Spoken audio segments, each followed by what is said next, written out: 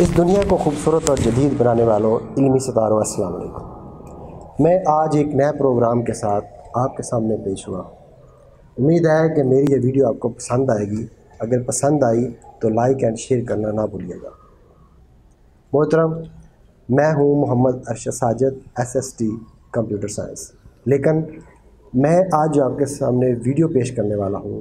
वो है दो साल से लेकर पाँच साल के बच्चों को कैसे तरबियत दी जा सकती है कि मुस्तबल में आपकी मर्ज़ी के मुताबिक ढल सकें और आपकी मर्ज़ी मुताबिक तैयार हो सकें।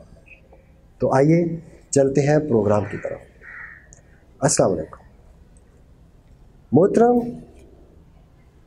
बच्चे तीन किस्म के होते हैं। एक होते हैं ऑडिटरी एक होते हैं विजुअल और एक होते हैं कैनिस्थेटिक एडिटरी वो बच्चे होते हैं।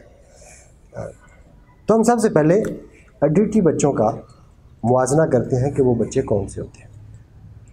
एडिटरी वो बच्चे होते हैं कि जो उनके सामने जो बात की जाए, जो आप गुफ्तु कर रहे हो लेक्चर को दे रहा हो, और वो उसको मनो अन उस तरह याद कर ले।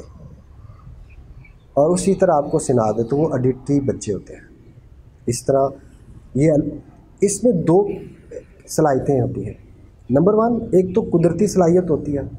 उस बच्चे के अंदर कि अल्लाह ताला की तरफ़ से वदियत होती है। नंबर दो, वो बच्चा लाशोरी तौर पर उस ही चीज़ की तरफ़ मगन होता है, उसकी दिलचस्पी होती है और वो उसको डेवलप कर रहा होता है, उस स्किल को डेवलप कर रहा होता है। और आखिरकार पाँच साल की उम्र में उस बच्चे की वो स्किल डेवलप हो जाती है। और स्कूल के अंदर हम देखते हैं कि ऐसे बच्चे वो जब टीचर्स का लेक्चर सुनते हैं तो उनको उसी तरह याद हो जाता है। तो हम समझते हैं कि शायद ये बड़े लायक है, ऐसी बात नहीं। वो लायक ज़रूर है, लेकिन उनकी एक अपनी सलाहियत है और वो अपनी सलाहियत को बुरे कार ला रहे हैं। उनकी एक स्किल है, वो डेवलप हुई हुई है और वो है एडिटरी और वो उसी के तहत वो तमाम काम कर रहे होते हैं। तो आइए चलते हैं हम दूसरी स्किल की तरफ़।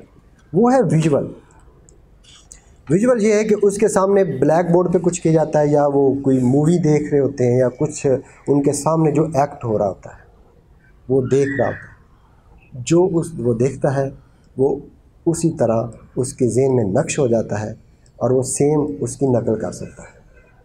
तो ऐसे बच्चे भी आपने देखे होंगे, जो उनके सामने जब टीचर्स हैं, वो वाइट बोर्ड पे या ब्लैक बोर्ड पे लिखते हैं तो उनको जो लिखा हुआ है, वो फौरी याद हो जाता है। तो हम समझते हैं कि ये बड़े जहीन बच्चे हैं। तीसरी जो किस्म है, वो है कैनिस्थेटिक बच्चे। कैनिस्थेटिक ऐसे बच्चे होते हैं कि उनके, उनको जब तक आप प्रैक्टिकल करके ना दिखाएँगे, उनको उसके अंदर इन्वॉल्व नहीं करेंगे। उनको आप ले के नहीं चलेंगे साथ साथ तो वो कभी भी सीख नहीं पाएँगे। मेरे अंदाजे के मुताबिक। और जो मैंने रिसर्च किया सेवेंटी फाइव स्टूडेंट्स ऐसे होते हैं जो कैनस्थेटिक होते हैं। लेकिन बदकिस्मती से हम ऐसे बच्चों को डल समझते हैं या नलायक समझते हैं, हालाँकि ऐसी बात नहीं है। हमारी अपनी कमी है। हम उन बच्चों को अप्रोच नहीं कर रहे होते हम ऑडिटरी को तो अप्रोच कर रहे होते हैं लेक्चर भी दे रहे होते हैं। हम विजुअल को भी अप्रोच कर रहे होते हैं कि हम ब्लैक बोर्ड वाइट बोर्ड पर लिख के सिखा रहे होते हैं। लेकिन ऐसा बच्चा जो कैनिस्थेटिक है, जिसे प्रैक्टिकल करके दिखाना है, जिसे खुद उसके अंदर इन्वॉल्व करना है, ऐसे बच्चों तक हमारी अप्रोच नहीं होती और आखिरकार वो बच्चे नाकाम हो जाते हैं। तो बताइए, अब उसमें बच्चे का क्या कसूर है? हमारे टीचिंग मेथड का कसूर है। और हमारे तकरीबन तमाम स्कूलों के अंदर ऐसी प्रैक्टिस ही की जा रही है।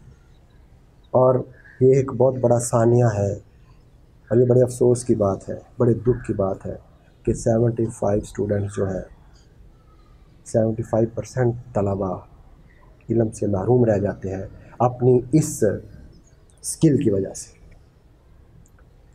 तो गवर्नमेंट ने आज गवर्नमेंट स्कूलों के अंदर एक किट भेजी हुई है, जो कि इन बच्चों को इन्वॉल्व करने और उनके अंदर स्किल डेवलप करने के लिए वो बनाई गई है। तो आज से हम उसके बारे में मैं एक एक चीज़ आपको समझाऊँगा और बताऊँगा कि ये जो गेम है या ये जो चीज़ है, ये कौन सी स्किल को डेवलप करेगी और बच्चे के अंदर कौन सी सलाहियत पैदा होगी। इन आने वाली वीडियो में मैं आपको ये बताऊँगा। तो देखते रहिएगा मोहम्मद अरशद का चैनल और अगर पसंद आए वीडियो तो इसको लाइक एंड शेयर ज़रूर कीजिएगा। इजाज़त दीजिए।